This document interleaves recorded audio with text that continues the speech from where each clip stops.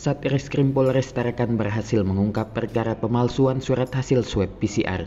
Pelaku yang berinisial FR dan HR berhasil dibekuk oleh unit Jatanras pada Jumat 23 Juli lalu.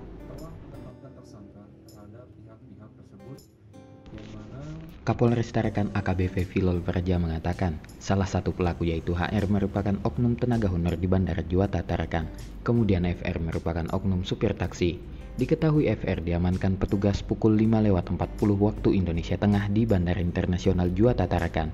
Ia diamankan pihak kepolisian setelah tertangkap basah akan menyerahkan surat hasil PCR palsu ke penumpang pesawat. Rencananya, ada tiga penumpang yang akan diberikan surat PCR palsu oleh FR. Satu surat PCR palsu dihargai sebesar 1,5 juta rupiah dan untuk surat jalan dihargai 150 ribu rupiah. Setelah diamankan, FR mengakui mendapatkan surat tersebut dari seorang yang berinisial MA.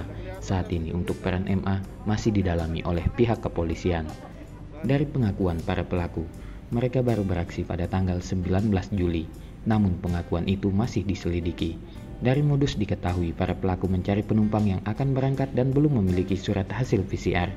Para pelaku menjanjikan bisa memberikan surat PCR tanpa melakukan pemeriksaan secara langsung Dilanjutkan Kapolres, pihaknya sudah mengkonfirmasi ke instansi yang disebutkan mengeluarkan surat itu dan didapati tidak pernah mengeluarkan surat hasil PCR tersebut.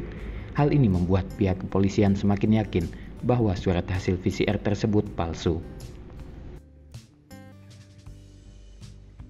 palsu didapat dari FR dan saudara FR ini kita lakukan interogasi dan berkembang muncul nama yaitu saudara MA jadi perannya eh, saudara ini sebagai calon calon ini yang akan kemudian eh, mendapatkan surat keterangan tersebut dari saudara MA.